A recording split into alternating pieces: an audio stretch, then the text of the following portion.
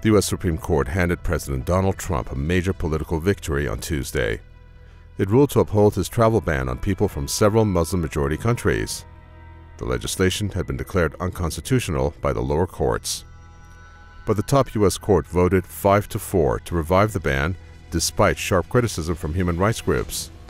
Neil Gorsuch was one of the five conservative justices who voted in favor of the president's favorite travel ban. Gorsuch was appointed to the top court by Trump last year, and now he is helping ensure that the president gets what he wants. The Democrats say the recent vote in favor of the Muslim ban has made clear the full consequences of the Republicans' quote, unprecedented theft of a Supreme Court seat.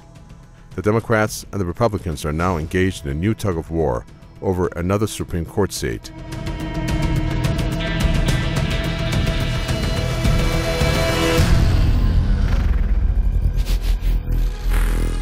Major political battle is ongoing in the U.S. over the replacement of the Supreme Court Justice Anthony Kennedy.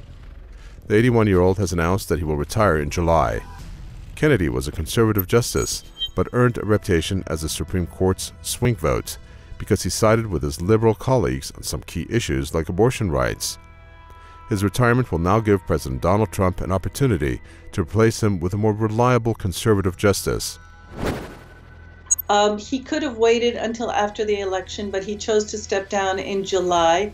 I personally don't understand the rush for him to step down, other than to ensure that Trump's nominee gets appointed, because right now the Republicans hold the Senate and they need Senate confirmation. If after the elections the Republicans lose the majority, they will not be able to uh, get the person through that Trump supported or that Trump nominated. The U.S. president says that he has launched an immediate search to replace Kennedy. He will be missed, uh, but he will be retiring, and we will begin our search for a new justice of the United States Supreme Court that will begin immediately. The Republican camp seems to be in a bit of a hurry to fill the seat and shape the court's course for decades. That's because the Republicans currently control the Senate which votes to confirm Trump's choices. But the Republicans could lose their Senate majority after November's midterm elections. The Democrats have warned that they will not tolerate any nominee from Trump's current list of candidates.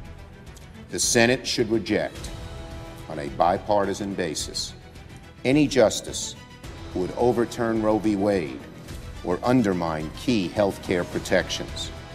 The Senate should reject anyone who will instinctively side with powerful special interests over the interests of average Americans.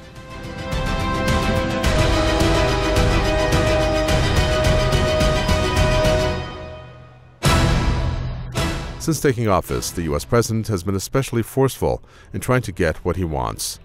Trump's opponents had pinned their hopes on the Supreme Court to put the brakes on his aggressive campaigns, but by trying to make the court more firmly conservative, Trump is making sure that his agenda will not face any obstacles. Critics have warned that Trump's tactics are threatening American values. They are worried that Trump, whom in their view lacks the most basic knowledge of American civics, is shaping the U.S.'s highest court. His stepping down will mean that Trump will have another appointee. And it is true that Trump says things that are outrageous in terms of our democratic principles. For example, a few days ago, he said that people who come into this country uh, without visas, for example, should be at, at the border, should be immediately deported and you know prosecuted and deported without due process, without a judge, without a jury, without judicial review. That's against the law of the land. That's against the U.S. Constitution. The Trump administration and the conservative camp are now preparing for a major clash with the Democrats over the president's next Supreme Court nominee.